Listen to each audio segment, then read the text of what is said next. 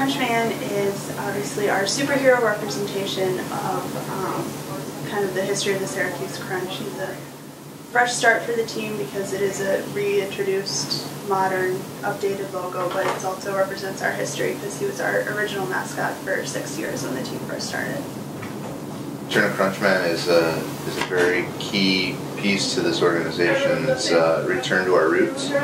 Uh, he was with us in the late 90s, and it's, it's nice to finally have him return to our organization and, and represent what we were years ago and hopefully years into the future now. Lyle had the, you know, he had the makeover um, when we changed our affiliates to, to Anaheim. So we changed our colors, you know, but kept the, the logo the same, but changed the colors of it. Uh, there was no talks of, of revamping the, the gorilla style. Um, the idea all along was to, to kind of go back to, to what we used to be. Yeah, the reception since uh, his debut um, has been outstanding. Uh, you have people that are in their 20s now that were kids when he was around for the first time, and you know it's one of those things that you're, you know, bringing back childhood memory.